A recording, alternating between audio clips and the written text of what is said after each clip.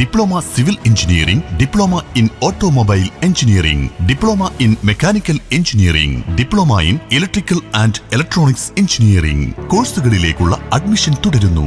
Orphanage polytechnic college Edavanna.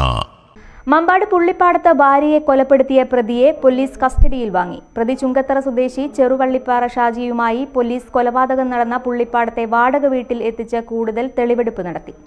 ഭാര്യയെ വെട്ടിക്കൊലപ്പെടുത്തിയെന്ന മൊഴിയിൽ ഉറച്ചു നിൽക്കുകയാണ് പ്രതി. കൊലപാതക രീതിയും പ്രതി വിവരിച്ചു.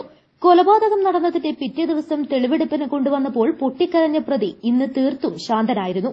രാവിലെ പതിനൊന്ന് മണിയോടെ കസ്റ്റഡിയിൽ വാങ്ങിയ പ്രതിയെ മൊഴിയെടുപ്പ് പൂർത്തീകരിച്ച് നിലമ്പൂർ ജില്ലാ ആശുപത്രിയിൽ വൈദ്യപരിശോധനയ്ക്ക് വിധേയമാക്കിയ ശേഷമാണ് കൊലപാതകം നടത്തിയ പുള്ളിപ്പാടത്തെ വീട്ടിലെത്തിച്ച് തെളിവെടുപ്പ് നടത്തിയത്. എസ് ഐമാരായ തോമസ് കുട്ടി ജോസഫ് രതീഷ് എന്നിവരുടെ നേതൃത്വത്തിലാണ് തെളിവെടുപ്പ് നടത്തിയത്. പ്രതിയെ വെള്ളിയാഴ്ച രാവിലെ കോടതിയിൽ തിരിച്ചേൽപ്പിക്കും. കഴിഞ്ഞ മെയ് ഇരുപത്തിയാറിനാണ് പ്രതി ഭാര്യയായ പുള്ളിപ്പാടം കറുകമണ്ണ സ്വദേശി നിഷമോളെ ക്രൂരമായി മർദ്ദിച്ചും ശ്വാസം മുട്ടിച്ചും കൊലപ്പെടുത്തിയത്.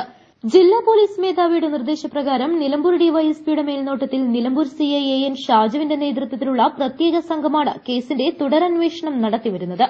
News bureau Nilambur. സ്വന്തം ഹൈസ്പീഡ് ഇന്റർനെറ്റ് നമ്മുടെ സ്വന്തം ഇന്റർനെറ്റ്.